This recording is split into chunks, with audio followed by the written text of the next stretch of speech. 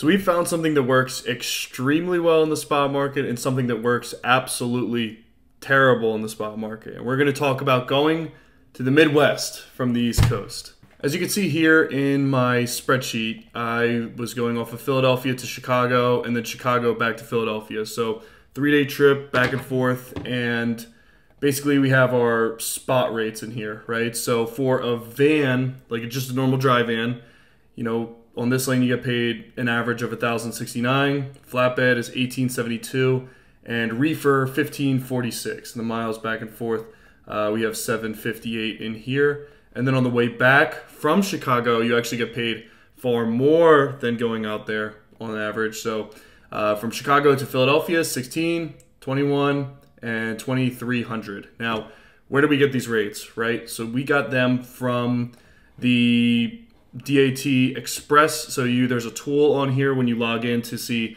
uh, basically the quick rate lookup. You have the spot rate and the contract rate. The contract rate is like a trucking company or really a trucking company working directly with the customer, and the spot rate is what a broker brokers it out for. So typically the brokers are not getting this. The brokers charge less than larger trucking companies and then broker it out to owner operators at a lower rate than they get the load for. So basically, if I go in here, Philadelphia to Chicago, search flatbed, it'll show me these rates. Again, from looking at this, flatbed is kind of king right now. I would say if you're starting your own thing and you have like one, two trucks, maybe three, I would definitely start with flatbed to minimize your financial risks, right? And you're going to see that further in the numbers here, right? So our round trip from, you know, going to the Midwest and back, you can see here is about $707 in tolls. Uh, there's obviously different routes you can take, but a lot of times they take significantly longer if you try to deviate off this route. And I've tried before. You can do it, but in the lost time, you're gonna probably lose more money, right? 707 bucks. The driver getting paid three days, 350 a day, 1052, and then we have our three revenues here. So obviously the van is the worst by far, and the reefer is even below the the flatbed, which is unusual, but the case in this case. Our round trip miles, three days out on the road, average cost per day of $1,100. What's crazy here is like when you factor in all your costs and you're just doing the market rates, you're losing like $245 a day, which is like crazy to me that people are even running for this low of rates, but they're running for even lower if you look. So on the van end, right, if I switch this back to van, you know, a lot of times the spot rate's even a little bit higher than what you're normally going to get, right? So you're seeing people are doing this on average between $1,031 to $1,200, which not a ton difference, right? So, but there are people doing it for less than this. If you have a dry van, that's right now in the market just far less valuable than having a flatbed or a reefer for that sense. But so the total net, if you're paying a guy to go out there, you're losing $737 if nothing goes wrong. So if it's like perfectly executed, you get that reward of uh, negative $700. Now, if we go to our flatbed, um, which I like much, much better, you know, you're making like 1,300 more dollars. There's not extra fees associated with, you know, reefer fuel or anything with the trailer in that sense versus a dry van. And over this three day period, you can make, you know, $500 and 12, $512 which is very good for today's market because you're paying for your truck and you actually have some profit and you're actually paying for the driver as well here. And you're paying the massive amount of tolls. So you're really covering all your costs and still doing pretty well on this run.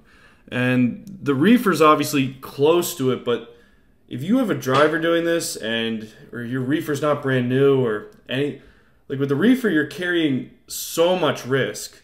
Like you're making like your risk you traveling for 1500 miles to make $400 while hauling $90,000, $70,000 worth of goods, that if that temperature is set wrong and it's your fault that it's set wrong, your reefer breakdown policy is not going to cover it and you're going to be out of business and getting sued.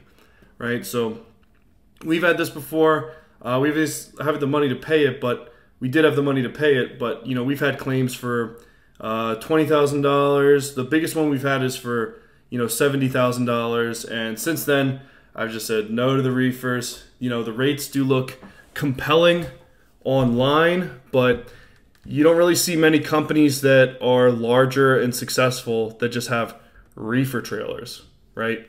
So, with regard to these reefers, it's like when do you see a company with 15 trucks that's just hauling reefers that's not doing LTL or that's not, you know, selling the product that they're hauling? Um, a lot of guys that you know have wholesale distribution centers will have their own reefers, but uh, there's not a lot of guys that are just common carriers successfully doing reefers because it's kind of like you're carrying like an atomic bomb. Like as soon as that thing goes off, you're gonna lose tons and tons of money. So if you want to do something that is less in the market than a dry van that has not the liability of the reefer, I would really recommend like getting into this flatbed stuff. And the end of the day, it's not that difficult. Just watch a couple YouTube videos on how to strap it up, you know, and get the straps on there and just make sure it's it's tight. I mean, there's other things like tarps and stuff, but um, just say you know how to do it and watch a YouTube video on how to do it because this, to me, far too risky. You know, you don't want your bananas or clam chowder, or that was our big claim, clam chowder. But um, you don't want you know load of watermelons or asparagus something expensive or pineapples to you know go bad and then you're on the line for all this fruit that no one wants or food the ice cream or whatever you decide to haul in your reefer. Too risky reefer. Now we have our dry van. This is just clearly failure so you don't want to do dry van there's obviously lanes that could maybe work with dry van maybe not right now but the flatbed puts you into a category where you're a little bit outside of the box.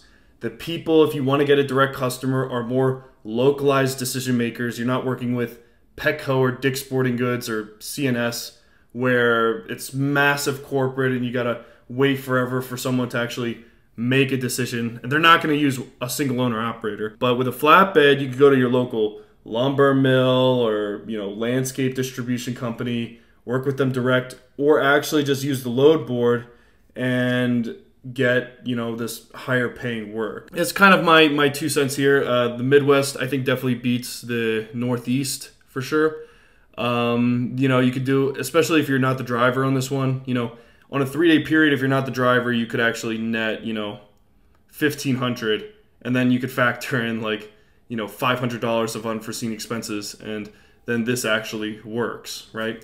So the one negative thing would be a lot of times these uh, 15 day averages, or in this case like a seven day average, uh, could be slightly inflated. But um, if you're totally focused on yourself, you can even get something consistent. It's going to turn out, you know, a lot a lot better for you. Yeah, that's my uh, my analysis here. This actually gave me a little bit of hope because uh, the spot market's been so bad that it's kind of nice to actually find something that like kind of works, right? So uh, call your local trailer distributor and try to lease yourself or rent a flatbed trailer if you're trying to, you know, salvage the financial success of your company. But anyway, thanks for listening, and I'll come up with another lane soon.